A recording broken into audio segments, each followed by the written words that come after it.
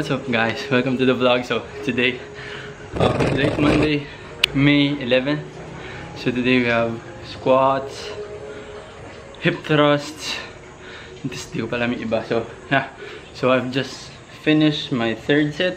So actually PR2, I think this is 205 pounds, beltless, sleeveless. So yeah.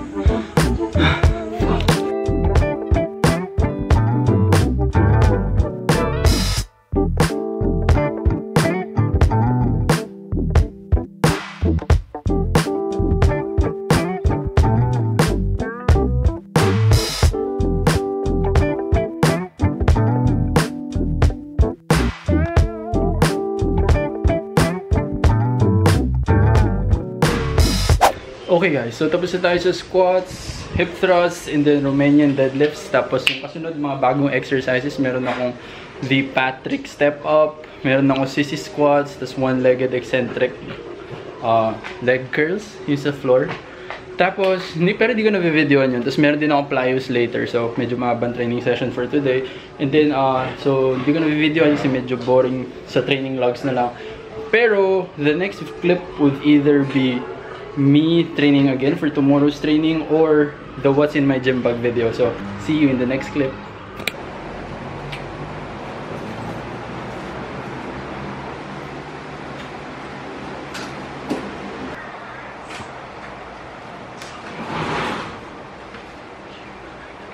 What's up guys? Welcome to the second part of the video. So, so for this part of the video, uh, I'm planning to talk about what's in my motherfucking gym bag, okay? So, ano ba nasa laman ng gym bag ko? Well, technically, home bag na siya kasi hindi naman ako magpupunta sa gym even after ECQ. So, yeah!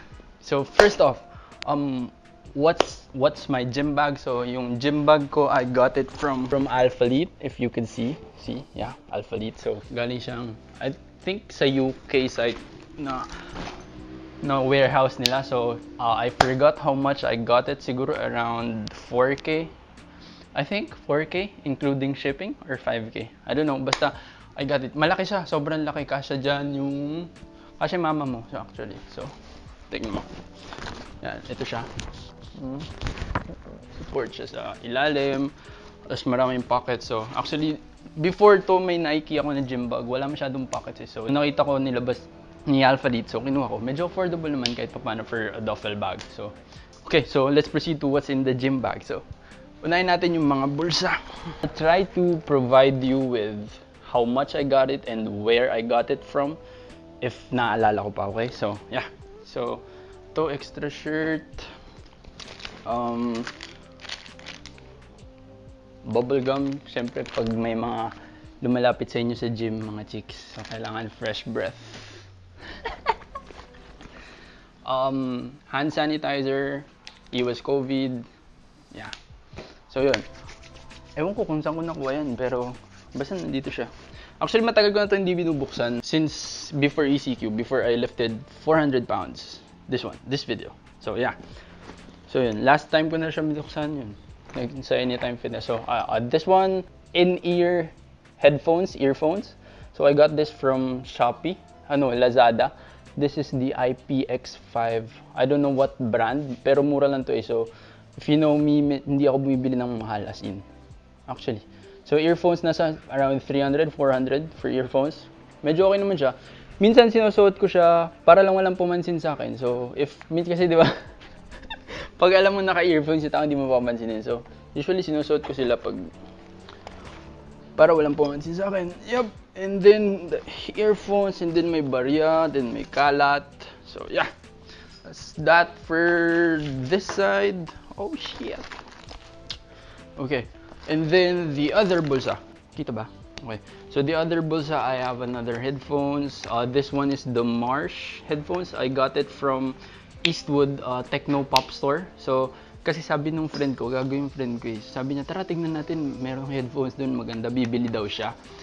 Tapos, nung pabalik na kami sa office, ako yung bumili. Kasi, if mapapansin nyo, medyo mahilig ako sa gantong color. Army green, olive green, I don't know. Medyo okay siya. So, yeah. Headphones, um, socks, socks, so, So yan, two, two months na siya dyan. And then, barya, barya ulit. So that's it for this side. Shit. So yun. So, um, if mapapansin nyo, yung mga nasa labas, medyo mga hindi naman siya equipment for the gym. So, meron pa tayong dalawang bulsa. So, this one, I think, barya to. So, barya, barya. Hydrite, this was still naman focus. Ayaw. So this was from my last competition last July, I think. Tangina, tapon mo na nga yan. And then the six, last bulsa, so I have the key fob from Anytime Fitness. K-Pep yan. Tapos ano pa ba? Hmm, condom for protection. Para protektado ka sa gym. I got that sa 7-Eleven. So, bili din kayo. Okay. So let's move on to the inside. So yung main bag mismo, hindi yung mga bulsa. So most likely ito yung mga equipment and all. So first, chalk, lifting chalk.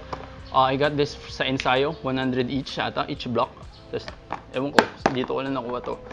So, chalk. So yeah, it helps you It helps you for uh, deadlifts, pull-ups. Nagpapawis kasi yung kamay mo, so it doesn't help you lift much, pero nagpapawis yung kamay mo, so it helps you grip better. Deadlifts, pull-ups, anything like that. Sa bench, okay.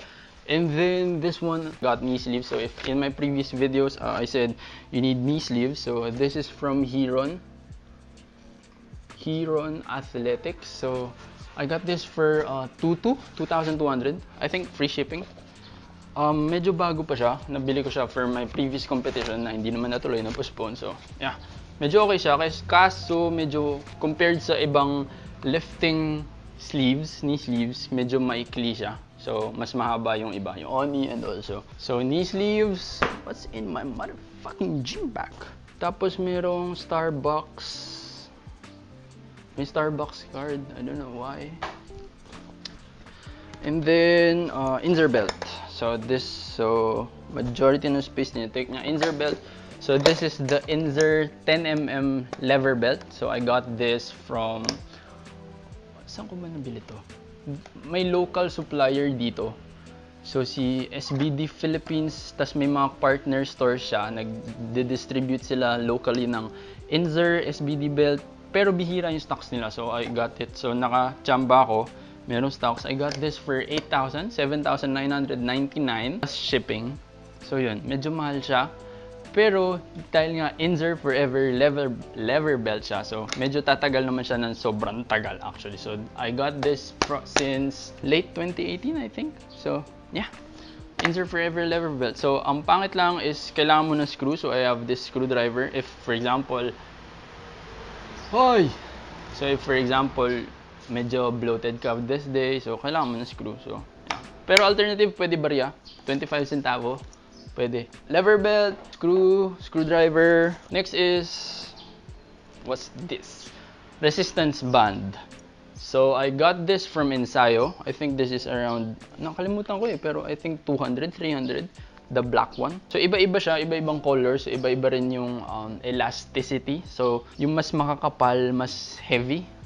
Tama ba? Basta parang ganun. So, uh, so ito, black. 200, 300 I think from Ensayo. I, I will try to list all the equipment, uh, the websites that I got it from in the description box. So para hindi na kayo magtanong, wala naman nanonood eh. Pero if ever lang may magtanong, nasa description box yung mga equipment. Okay? So yun, ano pa ba? Wala na. Ang unti lang pala. Ay, tapos nandito pa yung ano, bag tag ni Alpha Lead. So, meron pa. Uh, the last one, the last equipment. So, uh, this one. Ah, meron pa pala, may bulsa. So, the Nike Romelios 2. So yan, two, black and red. Uh, I got this second hand from a friend. So may kakilala siya nagbebenta. Magre-retire na daw sa powerlifting. So I bought it for uh, 6,000. Second hand yun ah. Uh, brand new, I think, the Romalius 2 would be around 10k, 12k yung Romalius 3, I don't know. Basta nasa ganun, 10 to 12k yung mga gantong shoes, lifting shoes, Olympic weight lifting shoes. Kailangan mo ba to?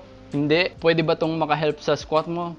Possible. Advice ko ba na bumili ka agad-agad? No. So, nandito siya sa gym bag ko. So, I use this for squats and bench. Yun, squats and bench. Deadlift, huwag kang tanga, huwag mong gamitin to.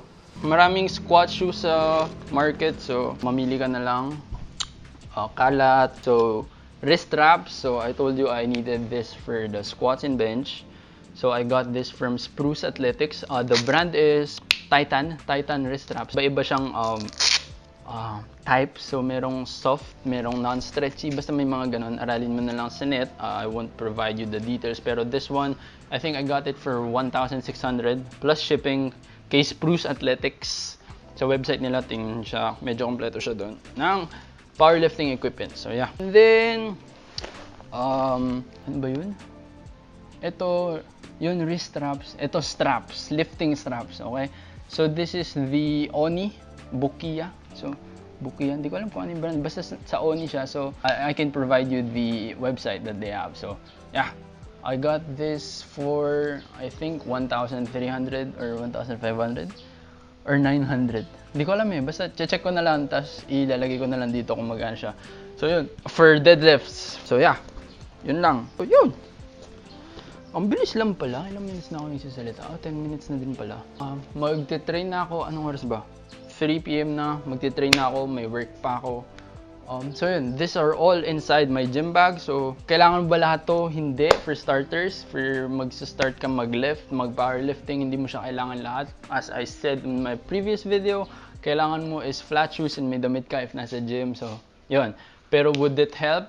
Uh, eventually, while you're progressing, it would really help a lot, especially the belt, knee sleeves, and the wrist straps. So, it would really help you. Pero if magsisimula ka pa lang, one month, two months, hindi mo siya kailangan para mag-start. Okay? So, wrist straps, belt, screwdriver, straps, lifting straps, chalk, and knee sleeves. So, yan yung mga gamit sa sa gym bag ko. So, every day ko before when I was lifting at Mike's during prep, halos every day ko siya ginagamit. Uh, I do squats, bench, and deadlift almost every day. Technically, every day. So, yun. So, Alphalete bag. Ganda siya actually. Tinan mo, green din. Diba? May, medyo mahilig ako sa gandang color. Tapos green din yung socks ko, if makikita mo. So, yun! Ooh. What else? What else? Yun lang. So, yeah, that's all for today's video. Uh, I hope you guys liked it. I hope naintindihan niyo yung mga sinasabi ko. Yeah, I hope it helped. So, I'll be for I'll be providing the links to their websites kung saan ko sila nabili. Except yung second hand, of course, the squat shoes. Second hand nga eh. Pero yung mga may brand and all, I'll be providing it in the description box. So, if gusto nyo bumili ng same equipment that I have, so you can just click it down below. So, yeah. I hope you liked it. Thanks for watching the video. Thanks for staying. If umabot ka dito, kilala kita. Good job sa'yo. Yeah. Please like and comment down below if you like this kinds of videos. So, and don't forget to subscribe. Also, follow me on Instagram. Again, it's right here. Yeah. Thank you. See you in the next video. Thank you. Bye.